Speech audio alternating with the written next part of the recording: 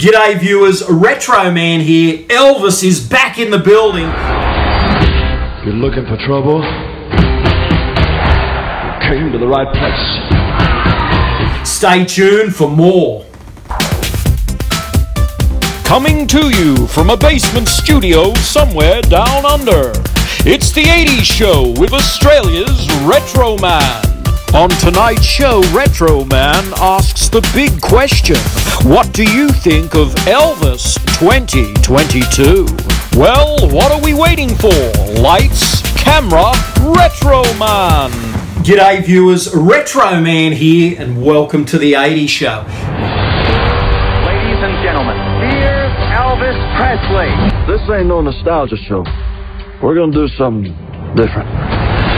What do you think about Elvis 2022? I mean, some people have had some mixed feelings about this new Baz Luhrmann film, but what I want to know is what do you guys really think about it? I myself have not seen it yet, but I will be checking it out very soon. Some people want to put me in jail well as movies and uh, I can't wait to check out this film. Now, some people have said it's a great film, others are a little bit on the fence as to uh, really how good is it. Uh, Baz Luhrmann is an acquired taste. He's an Australian filmmaker. He's a little bit cartoonish in style. He's responsible for Strictly Ballroom, which I actually really enjoyed. It was a, uh, a dance film back in the 90s uh, that came kind of after Dirty Dancing and made a bit of a splash with uh, Paul Mercurio, and it had that cartoonish feel, and I didn't mind that Baz Luhrmann film.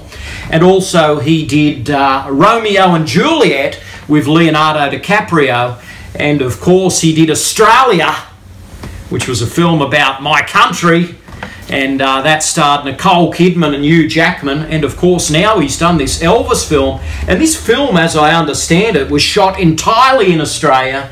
And when Tom Hanks uh, flew out from the US to shoot this film, uh, production had to shut down as Tom Hanks got COVID.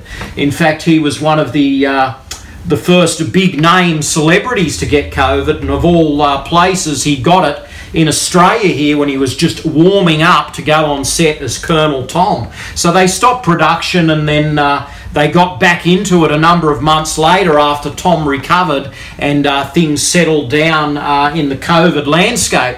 But anyway, guys, this film is, I've heard a lot of things. Uh, it's a blockbuster and uh, it tells the whirlwind life of Elvis Presley, one of the greatest entertainers and singers of all time.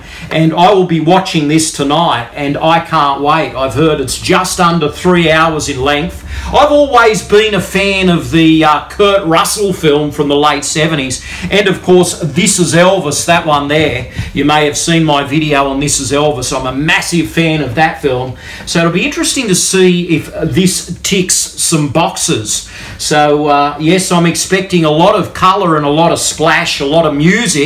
And uh, as you know, Baz Luhrmann is going to really ramp up his uh, his craft. You know, he likes those fast cuts. He likes a lot of music and a lot of colour, and he does those over the top cartoonish things.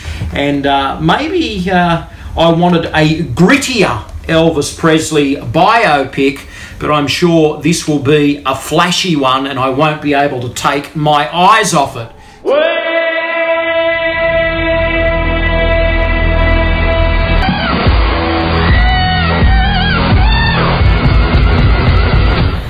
So have you seen this Elvis biopic?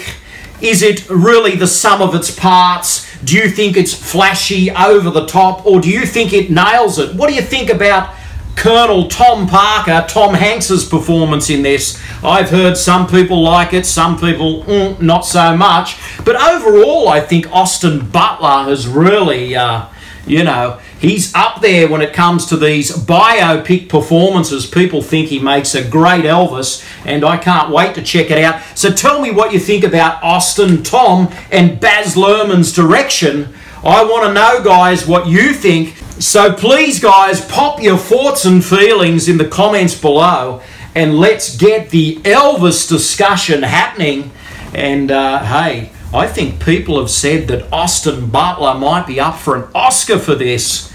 Wow, that makes me want to see his performance even more. I mean, do you think he really looks like Elvis? Some think he does, and others think, hmm, maybe not so much. And I've heard, though, nevertheless, he really embodies the spirit of Elvis. And uh, some people think he was the perfect vessel to carry that spirit through this biopic film. So, anyway, guys, I can't wait to check this out. And uh, I would like to uh, hear from you guys and tell me what you think of Elvis 2022. Are you ready to fly? I'm ready. Ready to fly. Anyway, guys, it's been an absolute pleasure. Like, comment, and subscribe. And keep watching The 80 Show because we have a lot more coming your way. Anyway, until next time, this is Retro Man living the dream, 80s style. Stay gold. I'm a hunker hunker burning love, baby. Thanks for watching. Retro Man will return faster than a boomerang and more exciting than Baz Luhrmann's biopic. Well, that's alright, mama. Please subscribe and good night, viewers.